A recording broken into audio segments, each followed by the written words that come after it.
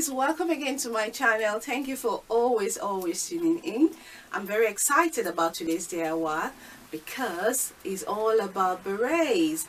They are fun they are fab they are chic they are in full force this autumn season.